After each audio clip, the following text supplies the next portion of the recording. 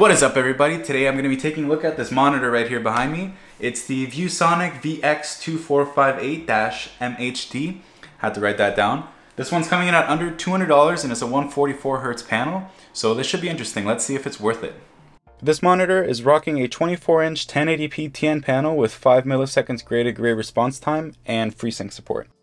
To set it up, the stand pops in like so and screws into place with this one screw located underneath it. You can tilt the display upwards or downwards to adjust the viewing angle. It's not the sturdiest of stands, but it does the job. There are four mounting points on the back, which are 100 by 100 millimeter VESA compatible. On the top, you can see through this grill two internal 2 watt stereo speakers. Please do yourself a favor and do not use these, they sound terrible, but are there for a worst case scenario. There are six buttons located on the back of the monitor, five to navigate the on-screen display, and one for power. The ports are located on the bottom and consist of two HDMI 1.4s, one DisplayPort 1.2, and one audio out port as well as the power port. ViewSonic has decided to add these red accents, I guess to emphasize that it's a gaming monitor. Not a huge fan of the aesthetics, but that is subjective though, and when sitting on its own it doesn't look too bad. They do have the ViewSonic logo on the top left, which I always kind of like. Again, very subjective. In the box, you also get the power cable and an HDMI cable. Something quick I wanted to point out is uh, even though they give you this HDMI cable, I don't recommend using it because you can't actually get FreeSync with HDMI. So it's interesting that they include that, I guess maybe because it's more universally used or maybe because it's just cheaper. Uh, but yeah, go ahead and put this aside for something else and I'd recommend grabbing one of these. Uh, just a regular DisplayPort cable. I'll leave a link in the description for the one that I personally use. Just something to keep in mind. So this is the computer I'm going to be using. It's my personal rig. Uh, it's going to be volunteering to run some games. Shouldn't have any issues running it at 144 Hz. Um, it's running an RTX 2080 Ti i9 9900K and um, it even has a handle. For those of you who don't know, you can now enable G-Sync on FreeSync displays with newer NVIDIA cards. To do so, first enable FreeSync on the monitor by going to Setup menu, AMD FreeSync, then On. After that, go to the NVIDIA control panel, set up G-Sync, then click on Enable G-Sync. Enable for windowed and full screen mode is what I selected. Then here on 3, make sure to click Enable Settings for the selected display model. Hit Apply and you're all set. These are the on-screen display settings. You can select your input, adjust volume for the speakers, and there are some different viewing modes, but from what I tested, they only make things look worse. Color adjustment settings, here you can mess with your contrast, brightness, and so on.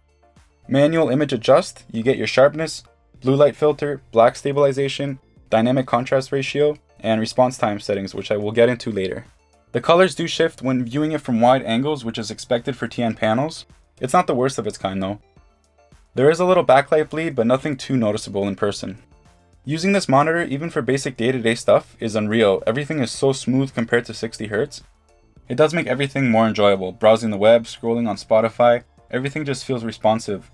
I left the response time on advanced as a good middle ground between responsiveness and ghosting. I tried the super fast 1 millisecond setting, but something felt off to me, especially in games. I took these pictures, take them with a grain of salt. This is standard, advanced, and super fast. Now for the fun part, gaming. This is definitely where the monitor shines. Games look great and more importantly feel incredibly smooth. After using it for a week I can confidently say that it does improve your playing. Most people will look at a display like this for competitive gaming, rightfully so, that's where the biggest advantage will be seen since it requires you to be so precise with your movements. Not saying casual gaming won't see any improvements either, just messing around with a couple games, everything became much more enjoyable. Even racing games felt much more realistic. Unfortunately, not all games can run at this frame rate, some are locked to 60 FPS. Fighting games in particular I wanted to try at 144Hz but couldn't find any. I wanted to compare this display quickly to another one I have which is almost identically priced. This is a Dell SE2717H 27-inch 1080p IPS display. Putting them side by side, the ViewSonic appears very washed out in comparison, and the viewing angles are obviously drastically improved on the Dell.